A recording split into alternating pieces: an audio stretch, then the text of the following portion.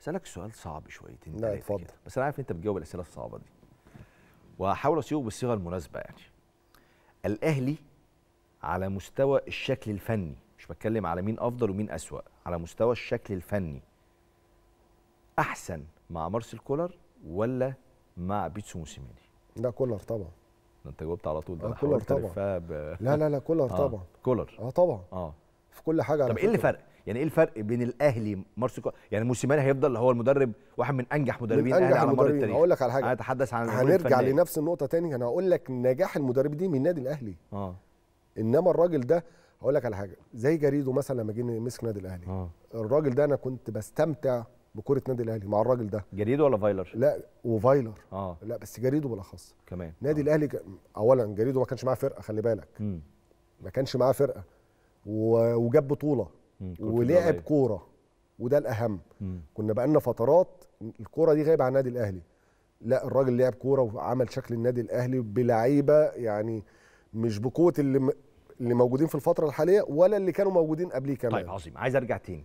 ليه قلت مارسيل كولر أو فترة الأهلي مع مارسيل كولر فنيا دلوقتي أفضل من الفترة بتاعت بيتسو موسيماني الراجل اللي نجح جدا مع النادي الأهلي؟ النادي الأهلي مختلف في كل حاجة. مم. اولا بدنيا واقف على رجليهم بشكل كويس قوي والدليل. النهارده. صح جدا. والفترات اللي فاتت. وده فريق نادي الأهلي عن باقي الفرق اللي في الدوري خارجيا وداخليا. كان بيلعب في دوري أبطال أفريقيا. لا فارق كتير. مم. الرجاء ده مش فرقة بطولة. مم. مباراة الذهاب من الدقيقة 60 65 النادي الأهلي بقى كده وهم كده. والنهاردة؟ نفس الحل النهارده. صح. يبقى الراجل ده عنده ميزة وشغال عليها بشكل بشكل كويس ونادي الأهلي استفاد بيها بشكل كويس. أيوة. دفاعيا مم. وتنظيميا. مم. انت شفت الفترة دي في أي فترات في نادي الأهلي؟ كان النادي الأهلي بيمر بالفترات دي؟ لا. كنت كنت ممكن تحصل مع موسيماني في سنه خلل مم. ما انتش عارف. إنما الراجل لا شغال بشكل كويس.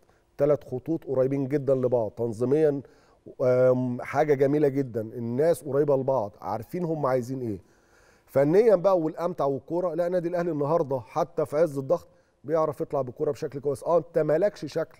في التلت الهجومي بس على الأقل انت وصلت الثقة للعيبة إن انت قادر تطلع بكورتك وده اللي كان بيحصل. صح. ده اللي كان بيحصل النهارده في وسط 2 3 لا النادي الأهلي كان على قد إمكانيات المباراة هو بيلعبها صح. وعلى قد ما طول الوقت ما بيمر وهو يقول لك الوقت لصالحنا النادي الأهلي يشتغل على دي بشكل كويس. وما كانوش بيفقدوا الكرة بس بسهولة لا يعني ممكن بعض اللعيبة بيعمل حاجة يعني مش مش المطلوبة يعني زي مثلا سي كرة كهرباء بدل ما أقف عليها لا عايز يعملها long pass على طول في الجول قررها بيرسي تاو وممكن تبقى مطلوبة لو مش تلاقيها في الجول مم. بس لا نادي الأهلي لا ممتعين طيب قريبين أنا لبعض عايز أضيف لك حاجة كمان كنت مستني منك كمان ان مارسيل كولر على مستوى الأداء الفردي للاعبين طور كتير جدا يعني أنت متخيل هاني ده اللي كان مطلوب يمشي وحسين. شحات كان مطلوب يمشي وكريم. فؤاد ما كانش بيعمل حاجة مع كتير. عد بقى كام لا لا لا تطوير اللعيبة. شغال بشكل كويس آه لا على لا المستوى لا الفردي لا لا كان لا دايما يقول لك. المدرب المدرب مش شغلانته يطور اللعيب. لا إزاي؟ إنه آه يشتغل هو بس هو. دور إيه المدير الفني؟ آه. هو أنا جاي بحط تشكيل وبشتغل جملات أو مح... أو أو برفعك في الحتة ال-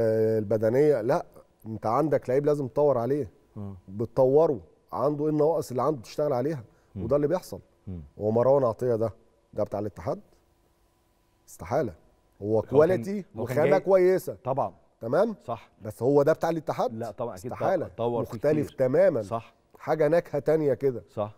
فلا فالراجل ده باين شغله وباين اداؤه وتركيزه مع لعيبته وقادر إنه هقول لك على حاجة هو الثقة اللي موصلها لعيبته هي اللي دي ال- دي ال- دي الأمتع. إن هو واثق في اللعيبة ومديهم الثقة اطلع واشتغل براحتك.